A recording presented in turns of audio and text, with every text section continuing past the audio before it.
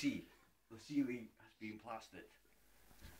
The next step, you need some water, clean the trowel,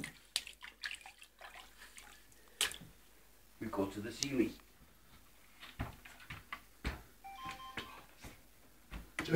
We sprinkle a little bit of water onto the ceiling. And then we just pull like this.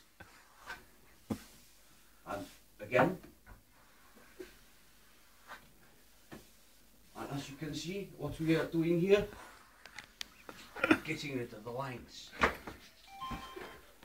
So, again, we clean the trowel. And then we start again.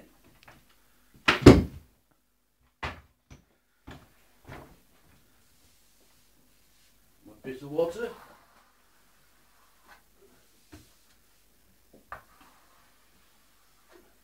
Remember everything folks, it's £25 a square metre.